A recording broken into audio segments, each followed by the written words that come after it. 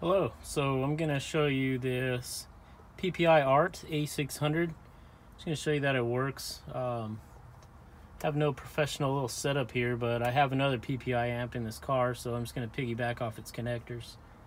I'm uh, just going to turn it on and just show you that it works. Maybe I'll hook up the subs too and show you that the sub will work as well. But there it is, so got the power on the right side over here and then the speakers over here and the remote on the left. These are just run to my dash speakers. They're actually blown, but I don't even know if it'll matter. You won't be able to tell. You'll just be able to tell that it works. So I'm going to turn on the radio and see the power light down here come on. And then I'll mess with the gain a little bit just to show you that it works. Alright, there it is.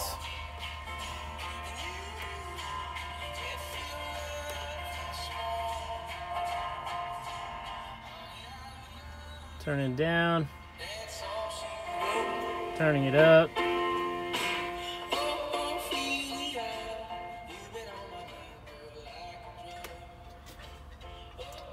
So it works. Um, I will cut out and hook up the sub and cut back in just to show you that it puts out some decent bass too. Okay, so a slightly more janky setup here, but I'll show you that both channels work. I mean, some of it you got to kind of take my word for, but anyway, so I put the factory plug back on. I have uh, outputs from left and right. Only hook up one at a time because I only got one sub. And uh, yeah, I'll show you. I tapped in the remote to the remote from the front channels of this amp behind it. So yeah, I'll turn it on, light will turn on, you should hear some bass. Okay. Hit that gain.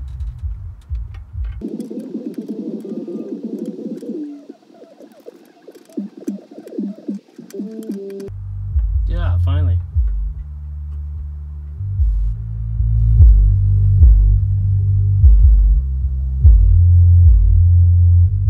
So hopefully you can hear that. Turn it back down. Alright, now I'm gonna I'm gonna shut it off when I switch these plugs, but I'll show you that I do. I don't want to mess anything up. Shut it off. And these guys just hanging out there. Pull them out. Make sure the wires don't cross.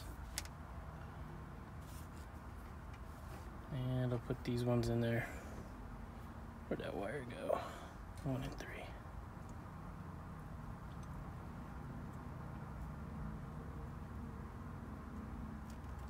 Super easy to do one-handed, let me tell you.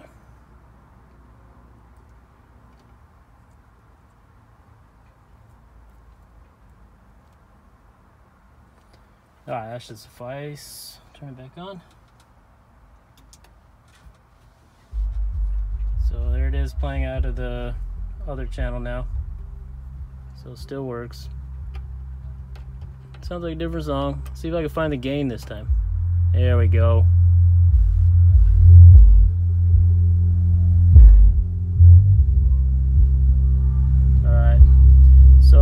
As you may know, these amps don't have crossovers on them, so you're hearing all bass because they have an equalizer up front uh, with the sub out. So that's what it's running off of.